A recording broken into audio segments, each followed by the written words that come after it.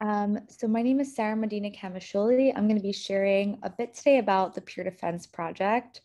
Um, I am a lecturer in the Education Studies Department, and um, I will be a lecturer also at the Pauli Murray College next uh, semester.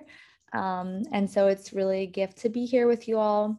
Um, I'll be sharing specifically about the Peer Defense Project, but more broadly would be really happy to share about being a young attorney um, looking to build practices around movement lawyering, youth civil rights work, um, and transformative practices to democratize law.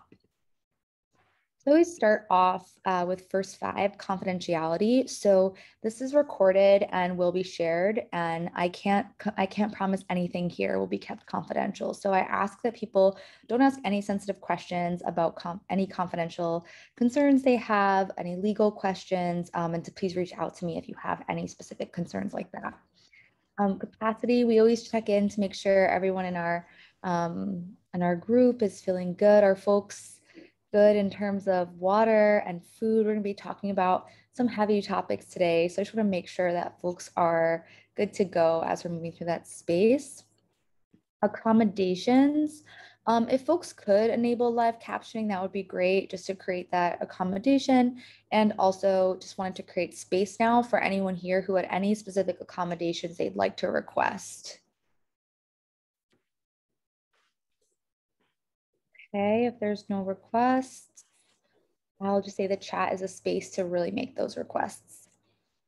And to butt in real quick, the live transcript should be on now for everyone um, who would like that. Thanks, Ethan. Um, agenda, I'm going to run through these uh, this deck for about 20 minutes and then create space for about a half hour of questions and then we'll close at 7.30. I will be facilitating um, and I know that your friends at YUP have now created um, a recording. And so that will be um, an opportunity as well. Um, I would love if folks who are in the chat specifically could change their names to their names, their pronouns. Don't worry about organization. My intentions for today, y'all, are to share about a new legal project that we're building in New York and to invite a diverse community of folks to build out our vision. And so I invite you as I share, you know, if you have, you know, you start to feel something like, oh, that excites me or that interests me or I can relate to that, to really lean in and share those experiences so that we can really think intentionally about how we can share our networks, our resources, and our expertise with one another.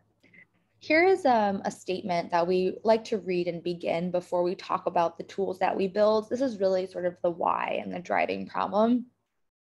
Today in New York, uh, the public schools teach more than 1.2 million youth in the most segregated schools in the nation. The first most segregated schools for Black youth and the second most segregated schools for Latino youth. That means when we say segregated within this metric of the likelihood of interaction in a school building um, uh, in terms of attending school together between students of different races.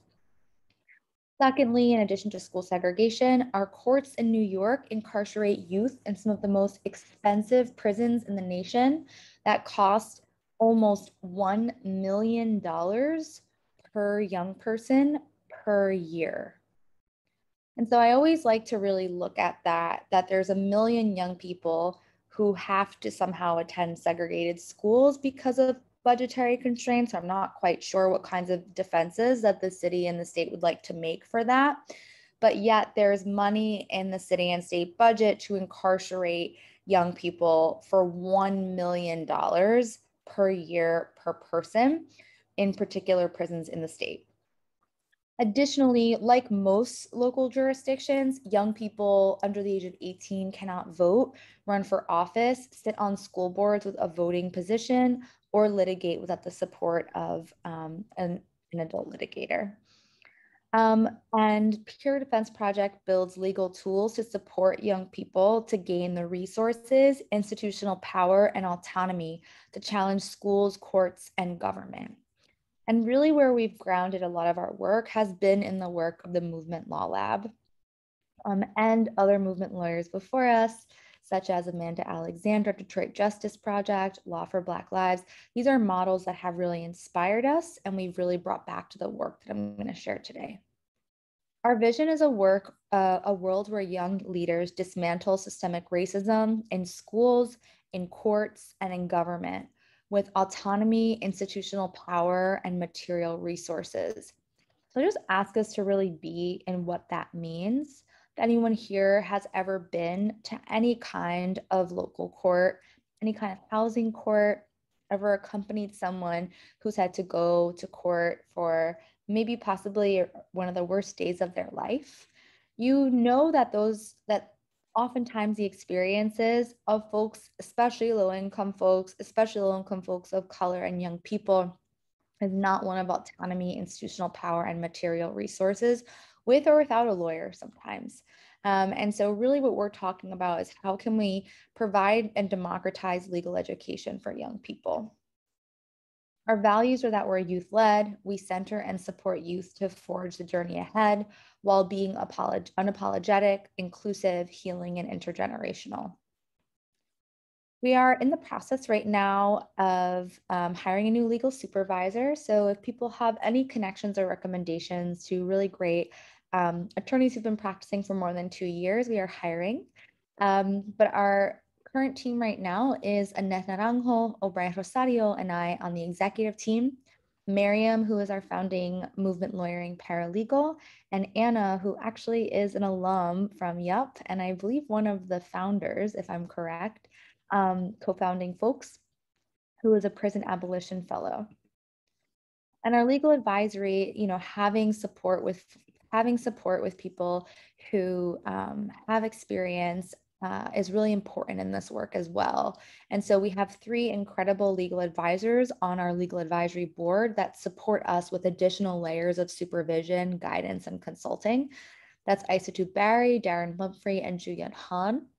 Um, and they are three attorneys, two from New York and one from DC, who really support us to being able to do this innovative work while maintaining the professional ethics um, and regulations necessary to have any kind of legal advice issued or practice any kind of law. Our fiscal sponsor is Integrate NYC, and for those of you who are looking to build your own organizations, a fiscal sponsor is a really effective way to be able to build a new project out, to be able to receive grant money, um, but to be able to do it in a transitionary stage. And so I'm going to tell a little bit about the story of how we're connected to Integrate NYC, but I just wanted to name this as a really effective tool for people who are thinking through building new projects and looking to find ways to have money circulate through them in a way that um, honors tax code. So a little bit about the history.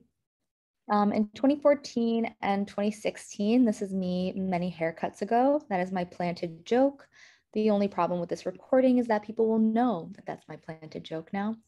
And this is us uh, or me in a classroom with many of my students having conversations about how segregation existed, for example, in ESL classrooms, where I was a Spanish teaching, Spanish speaking ESL educator who had students who were fluent English speakers in my class for years. Um, and the question I always ask is, why am I here um, if I speak English fluently? And I found that interventions that the state had made to provide um, necessary services to many bilingual students and many students who were, um, or I should say, multilingual students and students who are learning new languages were sometimes forced upon families um, due to administrative breakdowns um, and other kinds of bias in the matriculation process. Um, and so basically to how to say that in a less jargony way is when young people would show up, they would get tested for ESL if they had Latino last names. And if their parents didn't get properly notified that, happened, they could be placed in ESL for years and years. And so this really inspired me, especially as a Boricua educator, to think about how um, interventions that don't include youth voice can really cause harm um, harm specifically in ways that hold them back from being able to get access to graduation and educational resources. So we started organizing. Um, this is us organizing. You can see Annette in here, um, uh, really one of the original uh, uh, leaders of this work. And so we started coming together and saying, you know, what is segregation? And what is segregation not from the vantage point of predominantly white schools that are going to, quote, save seats for low income Black and Brown students, but instead, um, what does it look like to actually see this issue from the vantage point of students who have been segregated? And so we built the five R's of real integration, which really move beyond concepts like seeing the Little Rock Nine as an example of, ed, of integrated education that was acceptable, um, and really thinking about instead of saving a couple seats, removing barriers to the schools that place barriers in front of their enrollment policies that kept uh, predominantly Black, Brown, and some Asian students out. Um, we thought about resource allocation and teacher representation and culturally responsive curriculum and restorative practices. And uh, de Blasio created a mayoral task force, which is essentially a mayoral appointed um, group of people who say they're going to work on a policy, but the mayor can do whatever the mayor would like to do with an appointed group like that. And so we had students who really thought they were going through a legitimate process to have a policy implemented. And excuse me, it wasn't. It was largely something that was used as a space to bring together advocates, but not necessarily a space to make systemic change. And of course, in addition to our young people waiting and waiting for these policies to be implemented, then COVID 19 hits and we have an exacerbation of racial injustice um, and harm and segregation in New York we really started thinking about what does it mean to build other tools that support young people and impacted communities uh, specifically by racism and inequity to be able to demand and implement and enforce uh, policies that are more life affirming and institutions that are life affirming.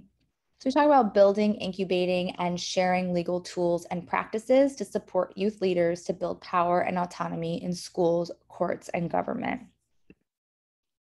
here are the tools that we talk about when we talk about democratizing legal access and education listening, learning, leading, leveraging, legislating, and litigating. Specifically um, within the youth context, I can kind of go through these. In New York, for example, if a young person would like to file a complaint, often their parents have to sign off on that complaint. We've heard many stories of students, for example, students who come from immigrant families who fear the ways in which the um, uh, immigration enforcement may be connected with the schools, other families who are historically um, surveilled by the um, uh, family law system, concern that if they file a complaint, they may be punished by um, having educators or other school leaders bring some sort of um, filed some sort of complaint against the family. And so a real fear of retaliation, or sometimes just that a parent doesn't agree that that's a concern, um, or a parent doesn't have time um, or interest in filing a complaint. There's barriers to listen to students in terms of violations and how they're happening. In terms of learning, what are student rights and what are the cases being brought on behalf of young people?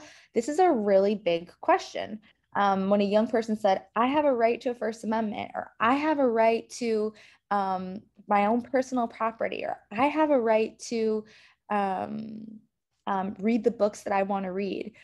It's really actually um, surprising. Young people have, students specifically have, are the group with some of the least rights in this country. Corporal punishment is still legal in this country in public schools on a federal level. State, many state and local levels don't allow corporal punishment, but students can still be physically punished in school.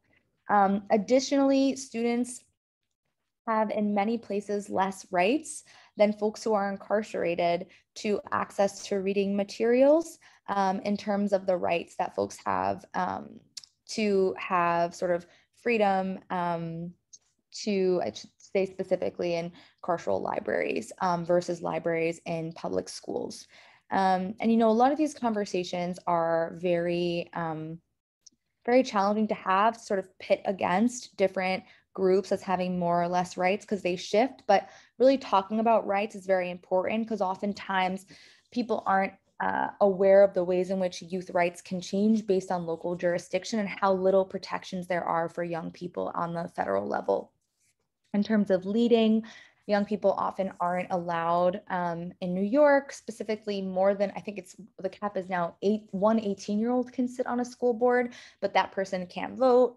Um, and then there's, there can't be any more youth representatives. And so what does that mean in terms of leading? Obviously leveraging power with uh, contractual negotiations. A lot of the time, young people may think they're signing a contract and they're not. Young people may think that there's some kind of requirement um, that there is. Oh, let me put this on. Um, some protection for them, but there's not. Um, legislating and litigating is also really important as well because obviously youth cannot vote and youth cannot run for office under the age of 18 and bringing lawsuits is incredibly complex um, and often requires a group of adult allies and attorneys who can be supportive. Our practices as we build these tools are that we're making sure to build youth legal autonomy, create youth legal resources, build youth institutional power, and create anti-racist legal practices. I want to show a little bit about what this looks like. Specifically in the realm of integration, um, I've shared a little bit about the case. When we built this case, we made sure that we had an intergenerational plaintiff outreach. There was not a group of strange attorneys knocking on doors in the South Bronx asking people if they wanted to be part of a segregation lawsuit. This was a real grassroots effort with attorneys and legal workers and organizers thinking about how to strategically um, reach out in ways that were trauma informed. You can see our training on trauma informed interviewing practices on our YouTube channel. Um, and really making sure that we are connecting with existing organizations doing work. Additionally, we created a pilot program for um, peer observers. So young people who were interested in becoming part of the case could learn how to identify violations in their school community. And then also we created intergenerational plaintiff toolkits. So you can see here, as we move through the case, we create tools so the young people who are in the litigation can understand where we're at and actually have be properly informed to be able to weigh in on the things that young people are supposed to weigh in in regarding their cases. In terms of learning around this, we've built know your case tools. Oftentimes there might be a, hey, young person, join our case and you're a plaintiff. And then, hey, join this phone call if you want to learn about it. And then, oh, hey, we're in settlement now. Uh, would you like to come to the meeting? But here we've built multilingual technology um, and intergenerational press conferences where young people can really understand the, the legitimacy of the case, the power of the case, and where it's at. Um, we've also built public forums to show the way that the case impacts other movements. Um, a lot of the times when litigation happens, sometimes this sort of intersectional analysis isn't done. And so we recently had a um, public forum event where we brought in um, the attorney for Breonna Taylor and um, Trayvon Martin's family, as well as attorneys from LDF fighting attacks on CRT, as well as attorneys protecting data privacy for young people and um, advocates working in public health to talk about the importance of our lawsuit demanding racial justice in education. Um, and then we've been working also, and this is how we've been connected with YUP, specifically within the realm of supporting the movement around abolition. Now, remembering that as a peer defense project, we do not create the integration movement, we do not create the abolition movement, we do not create the youth governance movement. We supply supportive tools that allow people to understand their rights, where there may be some legal issues, and then we, with that education and with that collective understanding, then support young people to continue moving forward as might be helpful, useful to the work that they would like to do in community. So specifically around abolition, we worked with um, the New York City um, uh, civic engagement uh, commission that worked with a bunch of folks on this call that worked to take a retired prison bus from Rikers Island and convert it into a community um, resource center on wheels. Um, and so I want to name just like how important that is in terms of abolition often being a scary word for people. Um, and so for us, this is a really important first step in being able to say, this is how we understand abolition, taking a carceral state and transforming it into a life affirming institution that meets intersectional needs in a dramatically reimagined way. Um, and so this is uh, one of the tools that we've worked on in terms of listening. On that bus, we built this survey. Shout out to Sid and Ethan and Fakir who worked on this with us um, to really ask young people, how do you understand abolition? What is that to you? So that when we're making tools, we're responding to that.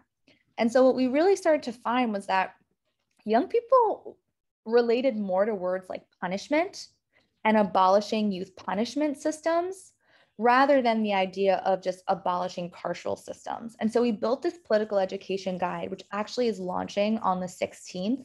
Um, I'm, I know Ethan and um, Fakir that y'all sent this out, um, but I would love if you could bump it again, the event. Um, so we're doing an event on abolishing youth punishment and carceral systems in New York and really under, having people understand fully um, what are the systems that have been identified